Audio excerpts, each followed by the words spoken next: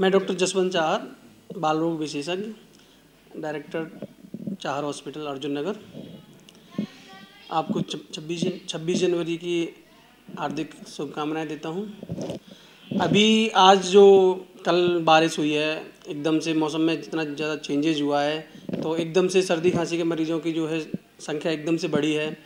इसमें हम छोटे बच्चों के लिए के माँ बापों को यही सलाह देंगे कि वो अभी अपने बच्चों को जो है पूरी तरीके से घर से बाहर ना निकलने दें। अगर घर से बाहर निकलते हैं तो उनको प्रॉपर ड्रेस अप करा के भेजें प्रॉपर गर्म कपड़े पहनाएँ, गर्म सॉक्स पहनाएँ, जूते पहनाएँ। घर में भी जब बच्चे घर पर रह रहे हैं तो प्रॉपर कंबल के अंदर रख रहे हैं, फिर भी आप उनको गर्म मोजे ज़रूर पहनाएँ।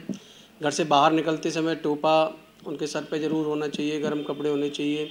इन सब चीज़ों का ध्यान रखेंगे तो छोटे बच्चों को इन सब चीज़ों से बचाया जाता है, बचाया जा सकता है। क्योंकि छोटे बच्चे ही इन चीज़ों के लिए सबसे ज़्यादा ससेप्टेबल होते हैं।